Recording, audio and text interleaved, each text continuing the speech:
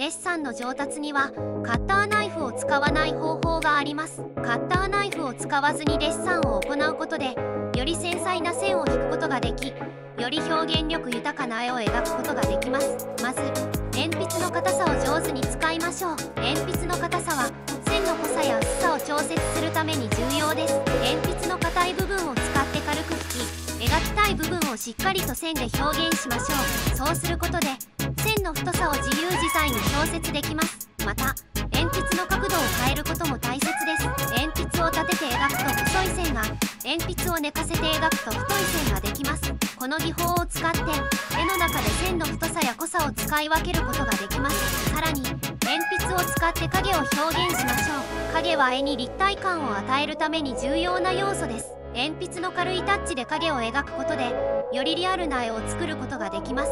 最後に綿棒やティッシュを使ってぼかしを加えましょう。鉛筆で描いた線を軽くぼかすことで柔らかな表現が可能となります。特に顔や髪の毛などの柔らかな質感を表現する際に効果的です。カッターナイフを使わずにデッサンを行うことでより自由な表現が可能となります。鉛筆の使い方や影の描き方ぼかしの技法を上手に使いより表現力豊かな絵を描けるようになりましょう。